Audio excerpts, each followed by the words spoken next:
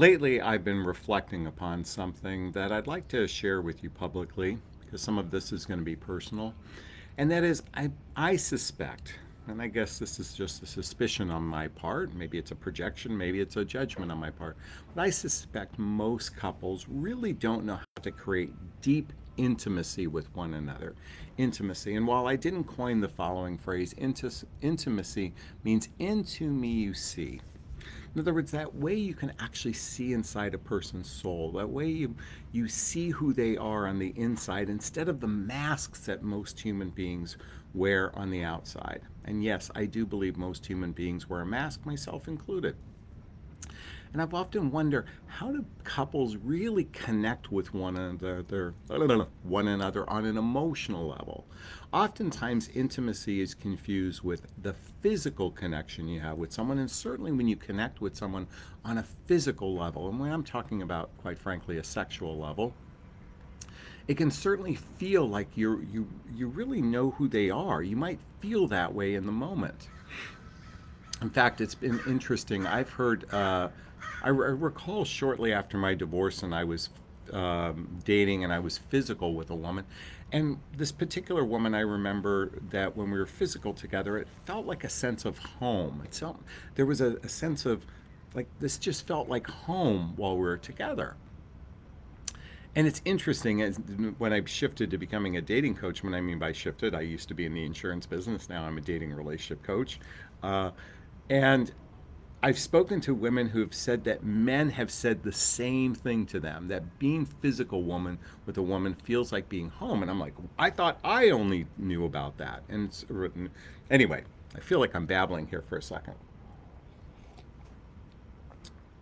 On a physical level, many men might feel like that's genuine love because when your body is feeling tingly and your body is connecting on so many different levels, it can feel like you're really connected to another human being. I mean, technically, when you're in intercourse, you're actually connected to another human being, but that's on the physical level.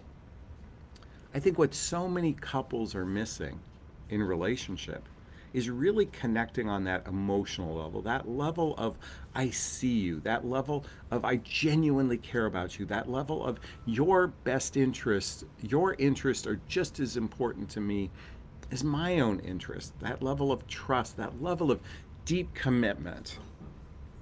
And I've often wondered how do we get there as human beings? How do we get to that place? Because the physical part is rather easy. In fact, these days, the physical part is the easiest part because when we think of attraction, we often think of it from a physical level. Certainly, there's deeper levels of attraction. There's emotional attraction, there's intellectual attraction, there's even that attraction of being attracted to someone because they are creative or those people that are the protector types. These are multiple different types of attraction that exists out there. But that's merely attraction how do we go below the surface as I talk about my relationship iceberg? How do we get to that level of really connecting with another human being on that emotional level?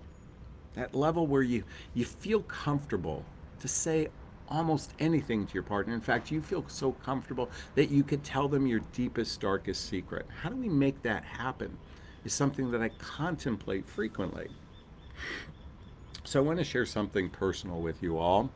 Um, and it's something my girlfriend said to me yesterday. She says, I like your woo woo ness. I like your woo woo ness. And what she means by that is she likes that I've studied relationships. I've studied spirituality. I've studied personal development and self help work. I've studied it to actually become what I think is a better human being or a more evolved human being or a more awakened human being because I, I recognize that in a significant part of my life, I was rather unconscious to simply the concept of awareness being aware of my thoughts, being aware of my feelings, being connected to my own thoughts, being connected to my own feelings, outside of the mask that I wore for a significant part of my life.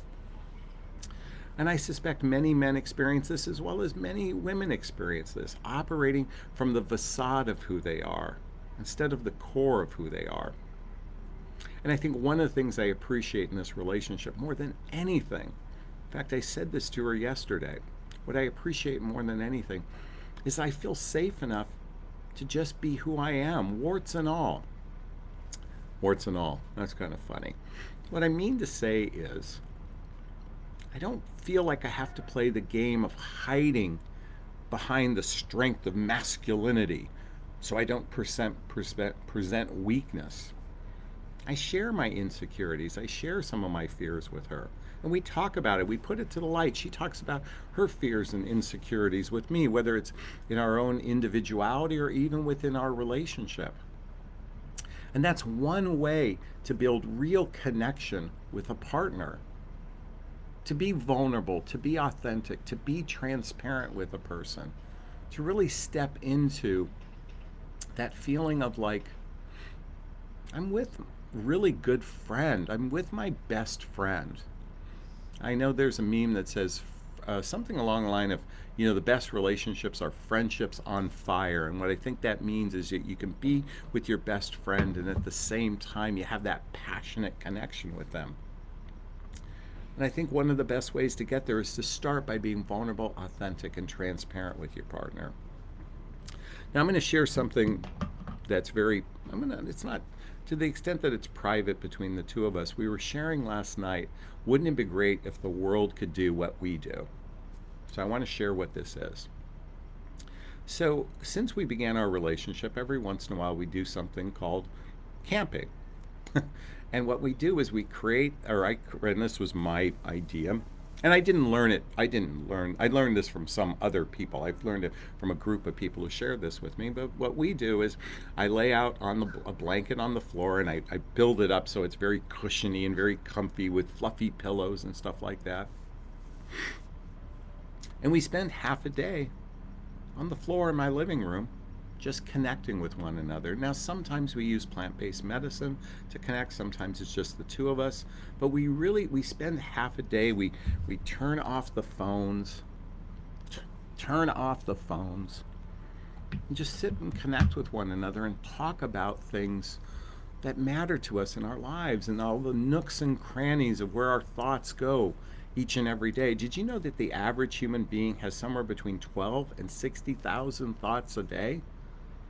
12 to 60,000 thoughts. And by the way, from what I understand, 80% of them are negative. And 80% of those negative ones are re or no, I think 95% of those negative ones are reoccurring ones. So we just sit and connect with one another. Now there's a book that I highly recommend you all check out. It's called How to Make Love All the Time by Barbara DeAngelis. And she creates these simple little ways that you can connect with your partner. Here's a the table of contents. You know and I'm sharing with you one of ours, but here's one. The love letter technique. The secret class, sexual classroom technique. You know, your hidden power of sexual energy. Now, I mean, some of this is, well, that's the bedroom stuff. Um, how to tell if you're with the right person, letting go of letting go of love. I mean, there's how to use this technique to make love all the time, the first aid technique, all these things in this book. I highly recommend you checking out. And I'm offering what she and I do as a suggestion. And you, since my audience is women mostly, you can create this for your partner. And that's simply making a request that you spend time just really connecting with one another. You shut off the world. You sit, I mean, the, uh, nesting is what we call this, nesting with each other and just connecting with one another. The plant-based medicine takes some of the edge off, but it's just a way not to make it sexual. This is not a sexual thing. This is about creating deep intimacy with your partner, deep connection with your partner, taking time out of your week if you can do it once a week or once a month, whatever it is, to just sit and be together. What's cool about nesting is we, we, we move in all kinds of different positions throughout the, the day. It's just kind of like thinking, we, we, I, I think out loud, you know, just some of the thoughts, and we just unpack them together and we have fun together. And it's a great way to build real deep intimacy with your partner by being vulnerable, by being authentic, by being transparent. And so we even had this idea of creating like a nesting bed and maybe selling it on Amazon or something like that because we both agreed We've never experienced this before in any of our previous relationships, and we suspect a lot of couples probably don't know genuine intimacy outside of the physical realm. And I'm here to invite it into the emotional realm. And I hope just this offering today might create a shift in your existing relationship, or it might plant a seed that you use this in a future relationship. And if you're single and looking for love, I invite you to attract in that beautiful relationship, like what I think I have. God, universe, spirit, I'm open and receptive to love. I invite in a love where we can be vulnerable, authentic, and transparent with one another. I invite in that love where we have that mutual chemistry for one another. And we have that ability to be open with each other on a communication level. And we can play and dance in that realm of vulnerability, authenticity, and transparency. And we can blend our lives together at some point. And we also share the deep values that allow us to really connect with one another. And we develop the deep roots of trust through social activities, hobbies, mutual interests, spending time with family and friends, traveling together, teamwork building school, skills, both in our personal and our professional life. And lastly, that deep intimacy that isn't just physical, it's emotional as well. And God, Universe, Spirit, I invite that into my life. That's my invitation for all of you to invite in that kind of relationship. Is it going to work? Hey, nothing ventured, nothing gained, right? Give it a shot. See if something can shift between you and your partner by starting to block out time during the week, during the month, where you really connect and just be with one another. And I hope that helps your relationship or your future relationship. All right, if you had, va- if, listen, I'd like to hear your thoughts on this. Post a comment below. If you found value in this, please uh, tell your friends about Midlife Love Mastery. Send them to my website, jonathonaslay.com. Have them click the group coaching, coaching button so they can join our fantastic group. And I'm going to sign off this video as I always do. First off, give myself a big, gigantic Jonathan Barrick of self love. I'm going to reach into the camera and give you a hug of love if that's okay. I'm going to ask you to turn to someone, a pet, a teddy bear, a pillow. Give it or them a hug of love because hugs are a great source of love. And let's face it, we could all use more love in our lives. Thanks a bunch. Bye bye now.